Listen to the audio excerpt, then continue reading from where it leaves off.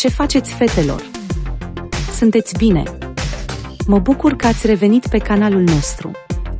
În acest video o să vă prezentăm cele mai stilate tunsori Aurora. Cui se potrivește? Top 15 modele superbe. Nu uitați să vă abonați și să lăsați o apreciere acestui video. Mulțumesc! Această coafură e mereu populară și originală. Romantică și puțin îndrăzneață, tunsoarea Aurora se potrivește tuturor tipurilor de fețe, dar totodată sublinindu-le individualitatea și unicitatea. Este foarte important să alegi un bun stilist pentru realizarea acestei coafuri, anume el va da conturul coafurii. Tunsoarea Aurora, foarte populară printre coafurile anilor 80 datorită stilului disco, deoarece astfel de frizuri aveau idolii tineretului din acea perioadă. Tunsoarea este mereu actuală, practică și poate fi realizată pe orice tip și lungime de păr.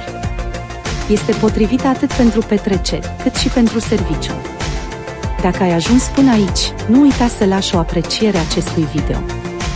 Tunsoarea Aurora pe păr scurt se caracterizează ca o căciuliță, cu volum, combinată cu orice tip de breton, iar șuvițele de păr din spate sunt tunse în tip cascadă.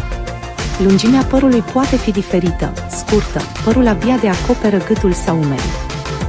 Femeile cu păr lung ar trebui să fie pregătite să-și ia rămas bun de la podoaba capilară pentru a obține un look impecabil. Cui se potrivește tunsoarea Aurora? se potrivește aproape tuturor tipurilor de față. Este o tunsoare feminină și foarte permisivă. Tu alegi cum tunzi firele din față, cu ce tip de breton o combini astfel ca să poți ascunde unele neajunsuri. Stiliștii nu recomandă această coafură fetelor cu fețele rotunde și pline. În acest caz, se recomandă tunsoarea lungită Aurora pe păr mediu. Un moment important în alegerea modelului coafurii este și alegerea lungimii faierilor răzlețe care vor crea acea căciuliță. Nu uita să te abonezi!